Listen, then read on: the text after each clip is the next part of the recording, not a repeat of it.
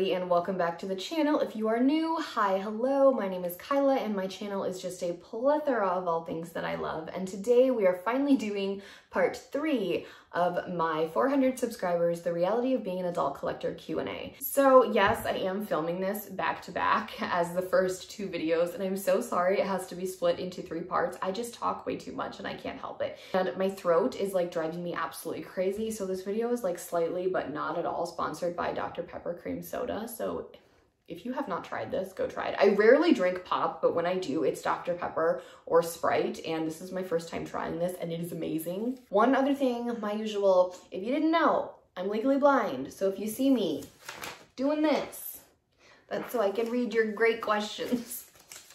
All right, when I film for way too long, I just go absolutely crazy. So this video might be the one where you see like the real side of me. Anywho, um, I thought about switching up who I had on my lap, but it's Prim, so I don't, no one else is worthy of this. Anyway, so the last category is just everything doll related. So you guys did ask me, you know, who's your favorite doll, yada, yada, yada. So I was like, you know what, I'm gonna do this.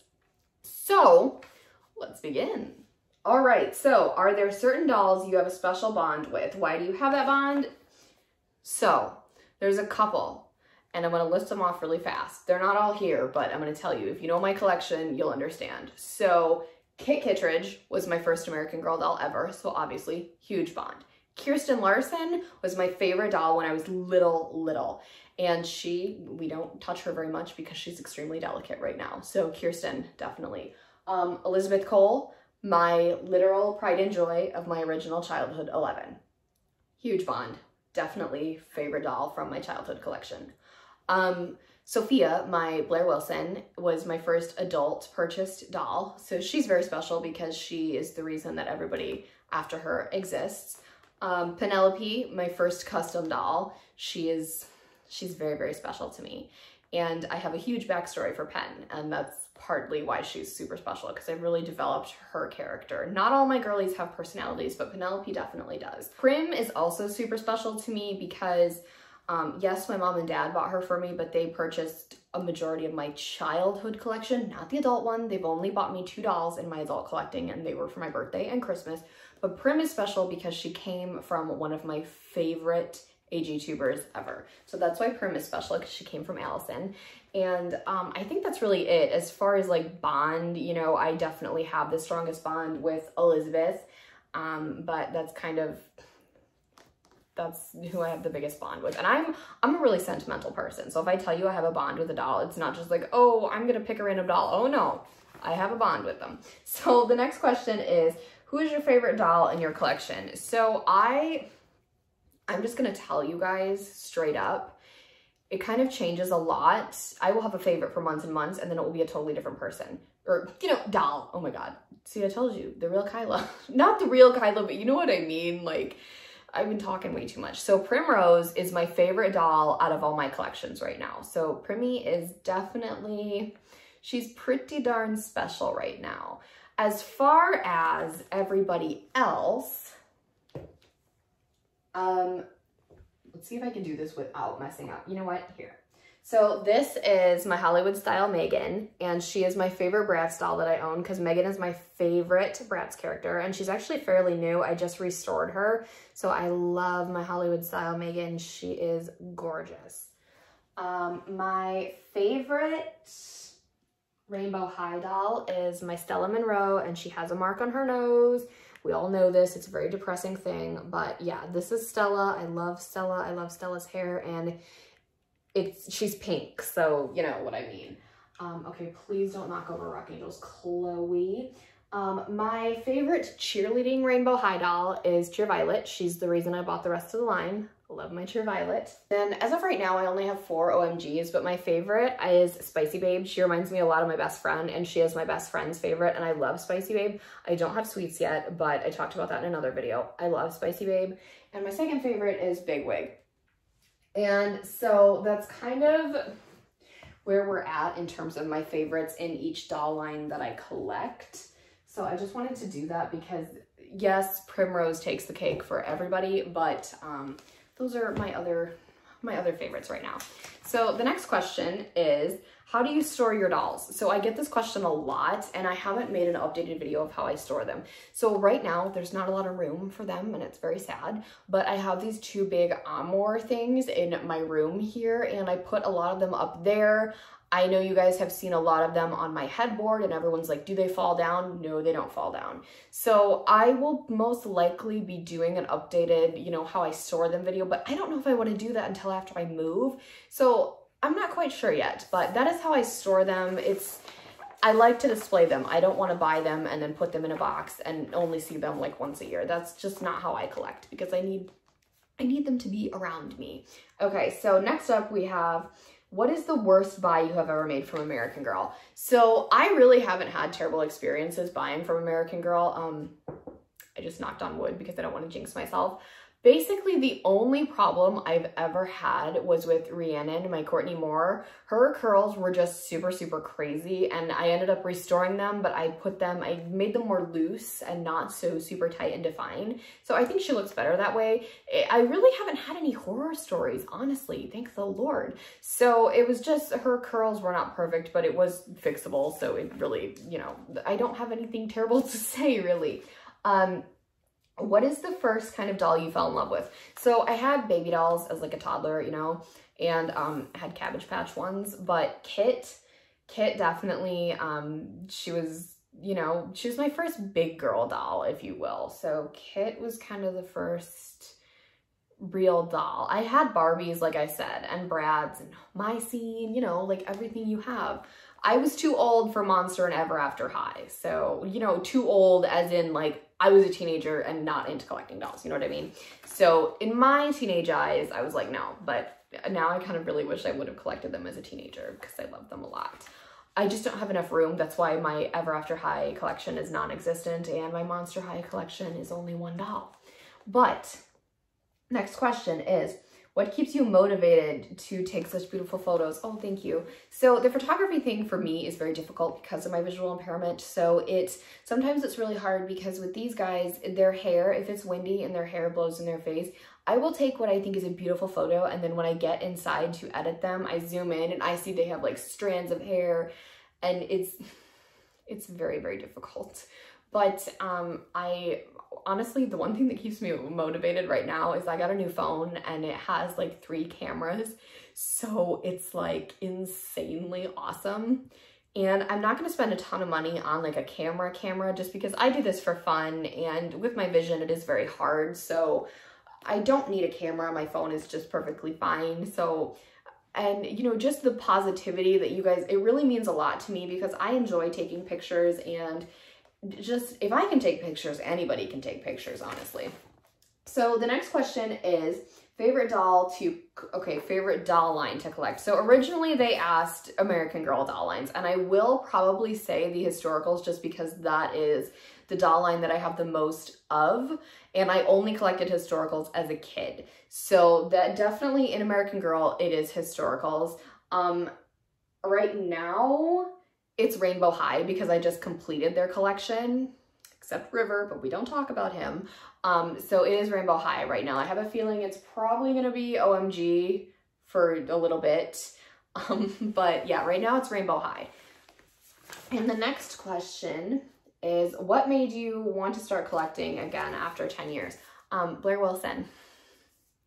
I just, if you guys know the story, I'm so sorry, but I randomly thought of American Girl when I was at work one day and I was like, Kirsten Larson. And so I looked up Kirsten Larson, found out she was retired, discovered this Blair Wilson doll and was like, oh my God, her skin is as pale as mine. And so I was like, you know what? I'm gonna see if people, you know, do YouTube about this. And the very first AGTube video I watched was Kylie and Paige of It's the Doll Place. And I was like, this is great. So that's how I kind of discovered everybody. So um, I just kind of realized, you know what, this was something I've always loved to do. And when I was a kid, it was kind of like my escape from reality. And since my anxiety has gotten worse as I was, you know, as I got older, my anxiety got worse and my depression, um, rears its ugly head about once a month. If we get lucky, once every two months, but you know what I mean? So I always figured these guys were a really good escape from reality and a really good calming coping mechanism, I guess you could say. So that does not mean, oh my God, I'm having a bad day. I'm going to go spend $110 on American Girl. No, do not do that. If you are having a bad day, change their outfits, do their hair, take some pictures of them. You don't have to buy a new one every time something goes wrong. So I know if I'm getting super anxious about something, I will go in my room and hang out with these guys. And that kind of leads me into like, people are always like, do you play with your dolls? No, not in that aspect of like making them talk. Because I think stop motions are really cool and I would do them if I had the patience, but I don't. So some of them I do have personalities for, but that's just because, you know, I'm creative and you kind of base some of their outfits around their personalities, like Prim, total girly girl. And I don't play with them in the aspect of, like I said, making them talk to each other and stuff like that. But yeah, I play with their hair, I redress them, I, you know, take pictures of them. So I play with them like an adult collector would play with their dolls. What is your dream doll? So for American Girl, we need new face molds. But if we're talking like if I could create a create your own, because I have so many saved, I am obsessed with the idea of a pale skin Addie mold with blonde hair and blue eyes. And I think that would be my first create your own. Don't quote me on that. I could be totally wrong, but I think that is like the cutest thing ever. And if you guys, I have her saved in my create your own thing. You guys need to go play around with the create your own thing and do like what I just said. The blonde hair, blue eyed, Addie mold with the pale skin. It is the cutest thing. And I think I gave mine freckles. I can't remember, but it is just the cutest, cutest thing. Um, as far as Rainbow High doll, I would like a rose gold one. That'd be fun. I know we're getting marigold and I know we're getting rose, but you know, I, rose gold, let's go. Um, OMG, I'm not super, you know, familiar with them. Okay, so they have like the Ariana Grande doll and they have Melanie Martinez doll and a bunch of other celebrities, but those are the only ones I really care about. I want a Taylor Swift OMG. Like, yes, please, can we please do that? Um, and Bratz, I just, I don't know. And Bratz is coming back too, so that's gonna be craziness. But I'm, I'm not really sure about my dream Bratz doll, but eh, just more Megans. All right. So who are your top five dolls in your collection at the moment? So I kind of already answered this, you know, telling you my top, you know, couple of each doll line that I collect. But my top five American girls are Primrose, yeah, Primrose, Angel, um, Sienna, Merlot, and Yasmin. And that is confirmed in my ranking, all my American Girls video. And I do have a ranking Rainbow High video. The other doll lines, I don't have enough Bratz or OMGs to make a ranking video, so I do apologize. But yeah, those are my top five AGs. And it's very difficult to do that. I feel awful when I have to do that. So the second to last question is, how did you get into American Girl? So my dad's cousin, so she's my second cousin, she's 13 years older than me. She, her and her brother would babysit me and my brother. This was before my sister was born. And she had Samantha and Addie, and she would let me play with them. So Samantha and Addie were the first American girls I ever saw. Now, it took me until 2021 to get an Addie Walker in my collection, but we're just gonna ignore that. So anyway, um, that is what got me into American Girl, and then I like, I probably told my parents or some crazy stuff. And then I got Kit for Christmas because she looked like Mini Kyla, which she doesn't anymore. But that's kind of how I got into American Girl. And the very last question, the very last question is how many years have you been collecting? So if we take into consideration when I got my first real American Girl doll, I was four. So it will be 20 years in December. However, there was a 10 year hiatus. I kind of count that as still collecting because I never got rid of my childhood dolls. So I wasn't actively collecting, but I never got rid of them and I made a point to take them out once a year and brush their hair. So technically 20 in December, but it makes me sound really old.